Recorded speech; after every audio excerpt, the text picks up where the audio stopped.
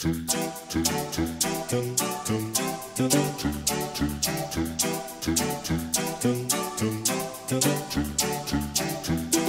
you, when are you going to stop wasting time and make up your mind to move, to leave all of this bad weather behind?